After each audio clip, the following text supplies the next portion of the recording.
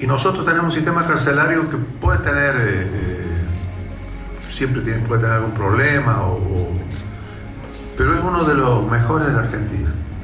Es uno de los mejores de la Argentina. Nuestra infraestructura es, es muy, muy respetuosa de los derechos humanos. Esta es la conclusión de un trabajo que venimos llevando adelante hace ya casi dos meses y lo que se planteó es la visión de trabajar en, conjunto sobre, esta, sobre esta problemática, sobre dos ejes.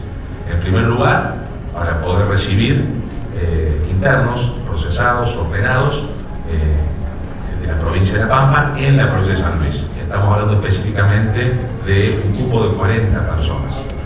Y a futuro, de forma inmediata, empezar a trabajar una visión a futuro para construir una nueva unidad, un nuevo centro penitenciario en el sur de la provincia, cercano a la provincia de La Pampa.